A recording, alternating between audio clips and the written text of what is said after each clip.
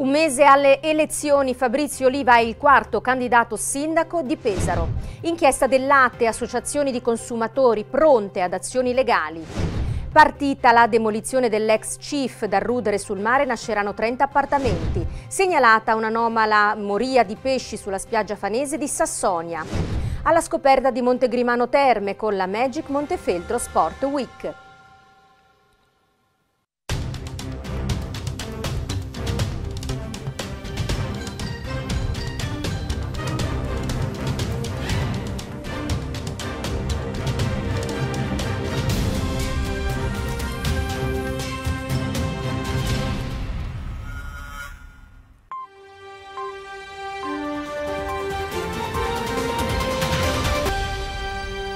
Buona serata, ben ritrovati al nostro telegiornale. Oggi è mercoledì 8 maggio e questa data ci ricorda che esattamente tra un mese ci saranno le prossime elezioni, esattamente appunto l'8 e il 9 giugno. Quindi a 30 giorni dalla chiamata alle urne però viene ufficializzato il quarto candidato sindaco di Pesaro. Saranno l'imprenditore alberghiero Fabrizio Oliva e la sua lista civica Spazi Liberi, infatti a partecipare alla sfida elettorale assieme insieme ad Andrea Biancani, Marco Lanzi e Pia Perricci. Vediamo.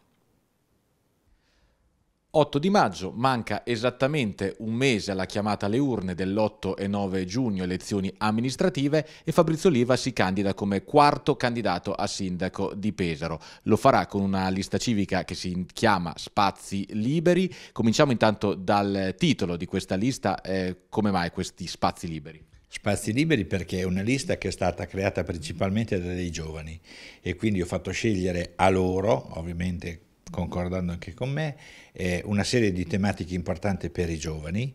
E quindi abbiamo veramente lasciato spazio all'immaginazione questo annuncio in coda ravvicinato all'arrivo delle elezioni sembrerebbe una candidatura last minute, invece è qualcosa di molto ponderato, già lo scorso anno l'aveva annunciato, come mai siamo arrivati all'ufficializzazione solo ora? Ma è molto ponderato perché la mia deve essere una candidatura un po' diversa, io ho le idee molto chiare, c'è la volontà di candidarmi a sindaco perché ovviamente rappresento delle categorie, al di là di rappresentare delle categorie anche la città ha bisogno di un volto nuovo al di fuori del sistema che governa oramai da decine di anni e l'ho fatto in questo momento. Uno, perché il primo maggio ho presentato l'accettazione alla candidatura da sindaco che è la festa del lavoro.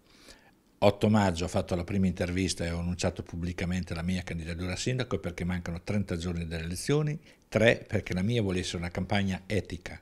Non voglio giocare sui manifesti, sulle cartelloni, su tante cose che i candidati hanno fatto oramai stanno facendo oramai da dieci giorni, per cui la mia eh, come dire, eh, campagna elettorale sarà molto modesta e molto a contatto con la gente e poco mediatica, nel senso che spenderò veramente poco, al di sotto dei 2.500 euro previsti dalla legge dove è previsto il committente. Naturalmente lei viene da una storia di imprenditoria alberghiera lunga e anche con diverse tematiche portate sempre sui tavoli delle amministrazioni comunali correnti. Questo è lo snodo principale che l'ha portata diciamo, a, questo, a questo passo. Sì, questo è uno degli snodi principali, ma la questione principale è che io comunque vivo da sempre a Pesaro, amo questa città, sono partito dal turismo perché ovviamente ci sono molte problematiche legate al turismo, ma ci sono molte problematiche legate alla città, voglio dire l'arredo urbano, eh, la bellezza, la pulizia, quindi sono tutte cose che mancano a questa, a questa città. La prima cosa che farò eh, sarà quella di dare immediatamente una progettazione per quello che riguarda il lungomare. Noi siamo una città dove il lungomare praticamente risale a 30 anni fa, oramai ci sono città eh, limitrofe che l'hanno fatto per la seconda e terza volta. Pulizia della città e, e poi ovviamente la Movida dove va governata, non va eh, mostrata, ma va governata. Quindi questo cosa vuol dire?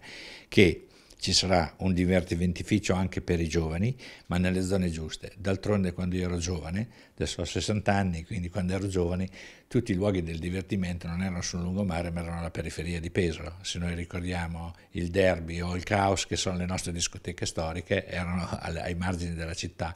Quindi nulla vieta che ci si possa divertire, che non, senza andare in Romagna e rimanere a Pesaro.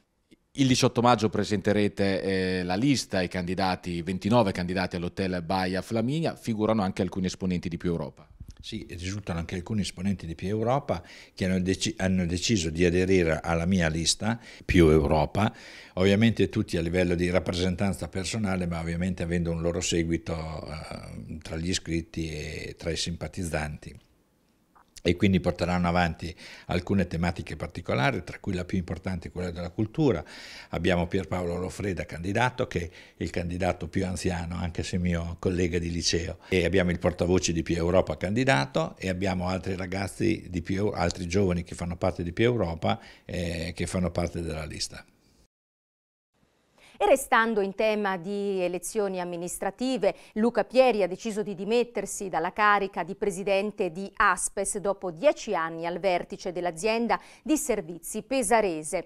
Una scelta che lo stesso Pieri ha motivato come rispettosa nei confronti dell'attuale contesto che lo vede candidato al Consiglio Comunale per il Partito Democratico, a sostegno della candidatura a sindaco di Pesaro, mentre Aspes è rappresentanza di 18 comuni soci governati governati da diversi schieramenti politici. Dimissioni che non sono una scelta obbligata, perché se è vero che esiste un'incompatibilità in caso di elezione, questa invece non sussiste per la semplice candidatura. Ed ora cambiamo argomento, passiamo agli sviluppi dell'indagine del Tribunale di Pesaro sul presunto caso di latte e prodotti caseari adulterati uscito eh, dagli stabilimenti fattoria, eh, fattorie marchigiane di Colli al Metauro, riconducibili proprio al gruppo Trevalli. Dopo lo stop della produzione e le dimissioni del Presidente, ora stanno per arrivare le azioni legali da parte delle associazioni dei consumatori. Sta scatenando un effetto domino l'indagine sul sospetto di latte e prodotti caseri adulterati dall'utilizzo di soda caustica per ritardarne il processo di acidificazione. L'inchiesta partita dalla Procura di Pesaro dallo stabilimento Fattorie Marchigiane, riconducibile al gruppo Trevalli Coperlat, ha portato infatti ad indagare nove persone, tre società e a sequestrare 200 tonnellate di prodotti lattieri e 2 tonnellate e mezzo di sostanze sofisticanti. Le rassicurazioni di indagine sul mancato riscontro di prodotti contaminati immessi sul mercato non accontenta però le associazioni dei consumatori. Sono infatti pronte class action in attesa dello sviluppo delle indagini, così come l'Unione Nazionale Consumatori è pronta a costituirsi parte civile. Intanto lo stabilimento Fattorie Marchigiani di Colle al Metauro ha deciso di sospendere la produzione in attesa degli sviluppi di indagine, così come il presidente Gianluigi Draghi ha deciso di rassegnare le dimissioni. Giampaolo Liz è stato nominato come direttore di produzione con incarichi specifici su controllo e verifica dei prodotti. Questa mattina a Pesaro è stata segnalata una fuga di gas in via Fratelli Bandiera nel quartiere di Pantano, non lontano dal cavalca ferrovia. I vigili del fuoco intervenuti ed utilizzata un'apposita strumentazione elettrica hanno individuato che l'uscita di gas proveniva da una vecchia auto in sosta e si è provveduto alla messa in sicurezza del veicolo. Ed ora parliamo di sanità, una nuova TAC, una nuova risonanza e due nuovi angiografi saranno operativi all'ospedale San Salvatore di Pesaro entro la fine dell'anno. In attesa della partenza del nuovo ospedale di Muraglia, la Regione Marche potenzia infatti la strumentazione dell'attuale nosocomio cittadino con investimenti di 5 milioni e 800 mila euro per i nuovi macchinari e l'adeguamento strutturale dei locali che li ospiteranno. Cantieri in corso che oggi hanno visto il sopralluogo del nuovo direttore generale dell'azienda sanitaria pesarese Alberto Carelli, insediatosi al nuovo incarico lo scorso primo maggio. Ruspe al lavoro oggi per la demolizione dell'ex CIF, questo rudere fatiscente che si trova a poche decine di metri dall'istituto alberghiero Santa Marta che dopo anni, anzi decenni di degrado viene abbattuto per creare un palazzo di cinque piani che ospiterà 30 appartamenti. Come preannunciato la scorsa settimana è partita la demolizione dell'ex centro italiano femminile il cosiddetto CIF, degradante edificio all'abbandono da decenni, collocato alle porte meridionali della città di Pesaro, all'intersezione fra Via Colbe e la statale, a pochi passi dall'Istituto Alberghiero Santa Marta. Ruspi al lavoro per sgretolare le mura di un edificio con 70 anni di vita, trascorsi dapprima come colonia estiva per le giovani generazioni del dopoguerra, poi come casa di riposo e infine come scatola vuota in progressivo degrado divenuto dimora di scorribande bivacchi. Dopo tanti tentativi di recupero andati a vuoto, lo stabile è stato venduto all'asta fine 2022 ad imprese edili che provvederanno alla demolizione dell'edificio fatiscente e alla nuova costruzione di una palazzina di cinque piani destinata ad uso residenziale. La demolizione si completerà in due settimane, poi si passerà alla realizzazione di un edificio destinato a 31 appartamenti che dovrebbe essere completato a metà 2026. Ed ora lo spazio dedicato alle vostre segnalazioni, come sempre vi invitiamo a mandarci foto, video al nostro numero che vedete in sovraimpressione. Oggi vi mostriamo i video che ci ha inviato una nostra telespettatrice che documentano un'anomala moria di pesci verificatasi nella spiaggia fanese di Sassonia. Vediamo di cosa si tratta. Una passeggiata primaverile sulla spiaggia fanese di Sassonia, accompagnata dalla sorpresa inattesa dell'impatto con una inquietante moria di piccoli pesci sospinti dalle onde sulla battigia. E quanto segnalato da una telespettatrice di Rossini TV che con video amatoriali sul proprio cellulare ha documentato ieri pomeriggio questa anomalia. Centinaia di alici senza vita sul bagnasciuga in corrispondenza del lungomare fanese all'altezza del ristorante al mare. Sospinta dalle onde spunta anche una stella marina un fenomeno che potrebbe essere riconducibile a sbalzi e oscillazioni meteorologiche dell'ultimo periodo, ma che presumibilmente andrà verificato con campionamenti delle acque supplettivi a quelli già effettuati in questo mese di aprile. Controlli dell'ARPAM che hanno dato il via libera ufficiale alla stagione balneare dal primo maggio in tutte le acque marchigiane, certificando il 96% di balneabilità dell'intero litorale regionale percentuale che arriva addirittura al 100% nelle acque della provincia di Pesaro Urbino, comprese Fragabicemare e Marotta.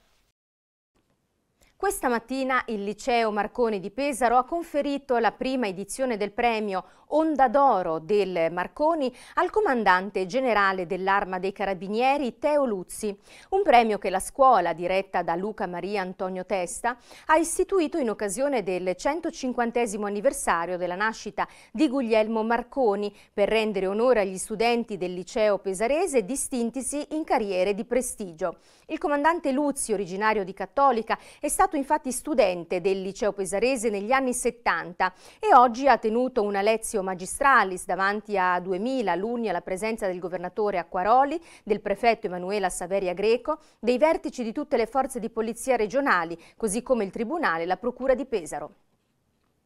Il nome di Giovanna Renzini, compianta capo ufficio stampa della provincia di Pesaro Urbino, scomparsa prematuramente eh, lo scorso marzo, si legherà all'albo d'oro del premio letterario nazionale Giucunde Docet Gianni Rodari. La giuria del concorso torinese ha infatti assegnato il premio speciale Testamento di pace alla sua poesia Pace, composta da Giovanna subito dopo la pandemia. Il premio letterario torinese si ispira infatti alla poetica di Gianni Rodari e alla letteratura per l'infanzia, settore a cui Giovanna Renzini si era dedicata con particolare successo nella sua carriera. Sarà Cecilia Sala, voce emergente del giornalismo italiano, la prossima ospite di Incontri Capitali. Come inviata ai reporter, la giornalista ha seguito sul campo la crisi in Venezuela, le proteste in Cile, i casi sociopolitici dell'Iran, la caduta di Kabul nelle mani dei talebani ad agosto 2021 e la guerra in Ucraina. Domani, giovedì 9 maggio alle 18.30, la Sala presenterà al Teatro Sperimentale il suo saggio L'incendio, reportage su una generazione tra Iran, Ucraina e Afghanistan, in dialogo con il giornalista Luca Fabbri. L'Ottocento di Fiorenzuola di Focara rivive in una mostra immersiva a cielo aperto per le vie del borgo. La mostra, visitabile fino alla fine di settembre, sarà oggetto di uno speciale approfondimento che faremo proprio noi di Rossini TV e che trasmetteremo venerdì 10 maggio alle 21.40. Intanto vi diamo alcune anticipazioni.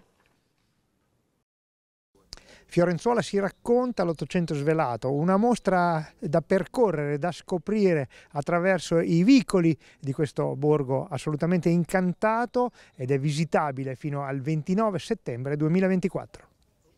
Comincia il tutto con la ricerca di documenti d'archivio, parliamo del 1800 dell'allora comune di Fiorenzuola.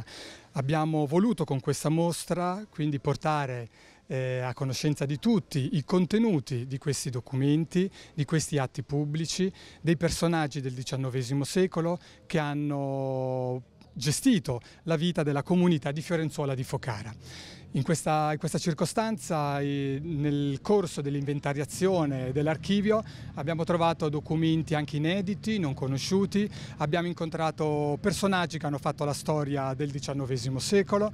C'era un bando della regione a cui abbiamo come comune partecipato e abbiamo chiesto di, valori, di poter sistemare il eh, non ordinato archivio di Fiorenzuola. Fiorenzuola a maggio dell'anno scorso mi sembra è stato dichiarato uno dei borghi più belli d'Italia e allora abbiamo detto perché no, uniamo questa cosa eh, storia, turismo, cultura, poi capitale della cultura, cioè più di così, quindi cosa abbiamo detto? Questo è un archivio che per più di 50 anni non è stato visto da nessuno, ma anche prima e mm, certi argomenti non venivano considerati importanti dagli storici. E quindi succede che era un archivio del tutto inedito. E quindi un archivio inedito fa gola chi vuole fare eh, della, della storia, comunque far conoscere veramente le comunità di allora come sono diverse e come diciamo nell'introduzione l'indole umana è sempre quella per cui alla fine insomma tutto torna. Ecco. Dentro gli archivi si scopre la vita, la vita delle persone del passato e si scoprono tutte quelle che loro hanno, quello che hanno vissuto, quello che hanno passato, le loro avventure, le cose importanti ovviamente, i grandi eventi storici, ma nello stesso tempo anche la vita assolutamente quotidiana, la vita di tutti i giorni. E nel caso di Fiorenzuola chiaramente attraverso questi documenti che poi sono relativi essenzialmente al XIX XIX secolo e mm, siamo riusciti a, a, immaginarci una Fiorenzuola molto vivace, molto, molto piena di vita, molto piena di attività, eh, un borgo mm, in, dove c'era una, una, vita intensa, c'erano tante persone, tante persone appunto che poi frequentavano questi vicoli, queste strade e, e rendevano vivace e attiva la, il, il borgo. L'abbiamo voluto raccontare nel migliore dei modi per dare alla comunità del XIX secolo di Fiorenzuola un volto ma anche una voce. Per questo abbiamo coinvolto gli studenti di ISIA, di Urbino, che hanno realizzato dei grafici d'autore eh, moderni nella loro esposizione, che abbiamo voluto esporre nelle vie e nelle piazze del borgo di, di Fiorenzuola. Abbiamo coinvolto anche l'associazione Le Voci dei Libri, veramente una grande esperienza. Devo ricordare anche il supporto tecnico e le voci che si sono nel frattempo susseguite nella registrazione audio e parliamo proprio del, dell'Istituto d'Arte Mengaroni di Pesaro. E siamo in chiusura del nostro telegiornale, prima però c'è spazio per un'ultima eh, notizia, è il 25 e ultimo comune della provincia di Pesaro e Urbino ad aver aderito agli itinerari della bellezza di Confcommercio Marche Nord. Parliamo di Montegrimano Terme, terra di confine tra Marche, Romagna e Repubblica di San Marino, che ora si promuove con la prima edizione di una settimana di eventi all'aria aperta.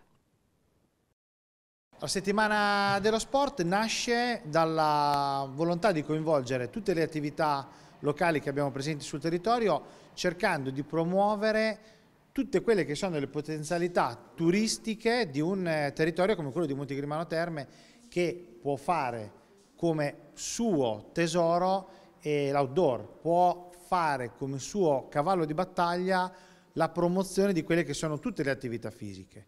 Qual è la nostra idea? È quella di coinvolgere in primis i nostri cittadini eh, proprio di Montegrimano Terme, ma chiaramente allargarci alla vallata del Conca, la Repubblica di San Marino, tutto quello che è il territorio di Montefeltro, non perché puntiamo al loro turismo e basta, ma perché speriamo che diventino i nostri primi ambasciatori in Italia, cioè nel momento in cui un cittadino di Montegrimano, come un cittadino di Mercatino Conca o di Carpegna vive un'esperienza emozionante nel nostro comune la racconterà, raccontando quello che ha vissuto da noi diventa appunto un nostro portabandiera, diventa un nostro ambasciatore di quelle che sono le potenzialità di un territorio così ricco di eh, verde, di green in generale dal punto di vista della qualità della vita. Ecco, da lì abbiamo unito quello che è l'altro nostro obiettivo, presentare soprattutto alle fasce più giovani, tutte le possibili attività sportive che si possono fare. L'evento principale della settimana dello sport, domenica 26 maggio, l'evento di chiusura della, della, settimana che si chiamerà Gran Fondo la Via dei Borromeo, che è un evento che fa parte di due circuiti nazionali di mountain bike e che al momento ha già 400 partecipanti confermati.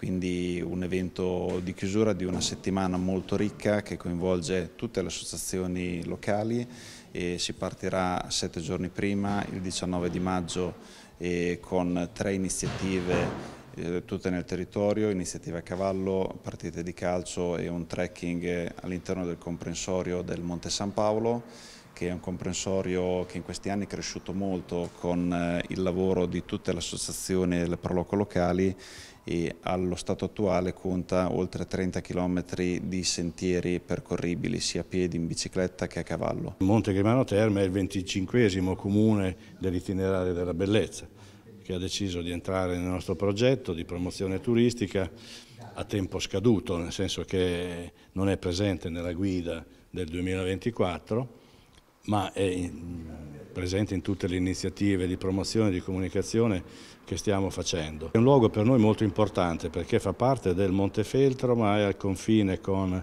la Romagna al confine con la Repubblica di San Marino.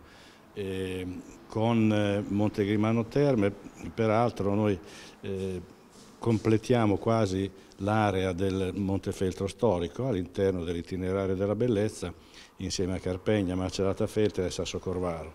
Eh, manca ancora un altro comune ma che penso entrerà nel progetto il prossimo anno. Quindi un'iniziativa importante per dare vitalità a questo centro che domina la, la valle eh, del, del fiume Conca è un centro molto bello che merita l'attenzione anche da parte dei, mar dei marchigiani che probabilmente non conoscono questo lembo estremo della nostra provincia. Allora davvero complimenti a Monte Grimano, siamo arrivati alla fine del nostro telegiornale ma restate con noi perché tra pochissimo c'è un nuovo approfondimento dedicato a Pesaro 2024, eh, tutte le informazioni che riguardano questo anno da Capitale della Cultura, quindi vi aspettiamo tra pochissimo. E poi in prima serata alle 21.20 vi mostriamo la mostra del libro per ragazzi che si sta tenendo a Valle Foglia. Avete tempo fino all'11 maggio per andare a visitare con i vostri figli questo bellissimo evento che parla di eh, presentazioni di libri, racconti, eh, corsi, laboratori, insomma tantissime cose belle per i vostri ragazzi. Subito dopo invece da Valle Foglia ci spostiamo a Cantiano per mostrarvi quello che è stato il successo di questa edizione della Fiera dei Cavalli. Domani invece vi aspetto alle 7.20 eh, in diretta su Rossini TV Canali 80, in diretta sulla nostra pagina Facebook con la nostra rassegna stampa. Ed ora ci sono per voi le notizie riguardanti il meteo, grazie per essere stati con noi, buona serata.